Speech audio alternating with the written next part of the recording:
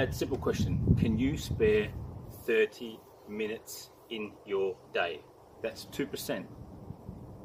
30 minutes in a 24 hour cycle is 2% of your day. Can you spare that?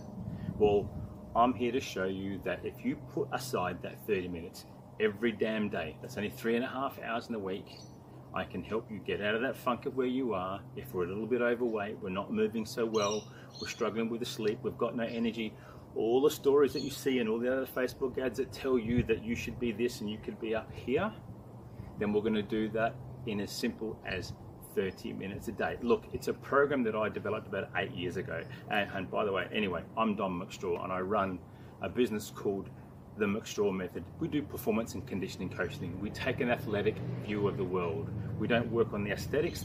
That stuff will come. But I want to bring you back to when you're a younger guy. I want to bring you back to when you were a fitter guy. Maybe it might have even been pre-kids, whatever. But I want to simply show you one thing. In 30 minutes a day, we can get the athleticism back we can rebuild the strength, we can get better sleep patterns, we get a clearer head, and all that stuff so that you can go about being the best role model that you can be for those kids of yours that are sitting and watching every single move that you make.